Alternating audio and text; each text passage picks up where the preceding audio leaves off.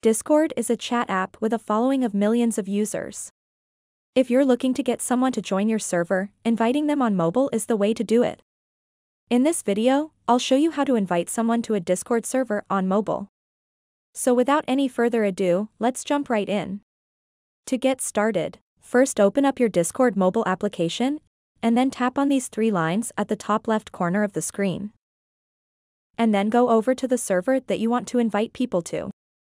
Once on the server, you'll see a button under the server name that says, Invite Members.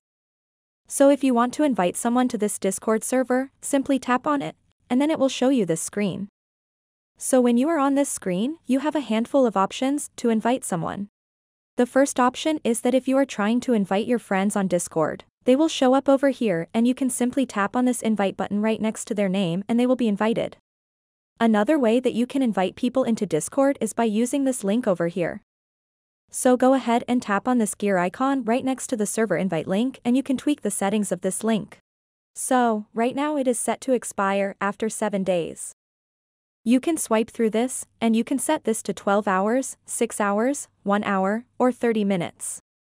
What I would recommend you to select is No Limit, because then you can put this invite link in your Insta bio, TikTok bio, or your YouTube descriptions, and this link will never expire and people can join the server anytime that they like.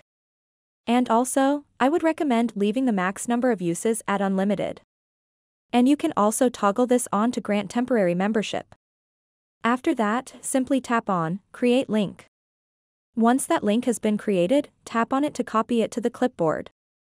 And you can share this link on any of the social media platforms that you use, or text or email this link to someone. You can also tap on this share link button over here to share it on Messenger, Twitter, and Facebook. So that wraps up this video. If you have any questions about this whole process, please let me know in the comments section below. And if this video helped you out, please give it a big thumbs up and subscribe to this channel for more tutorial videos like this one. Thank you so much for watching and have a good day.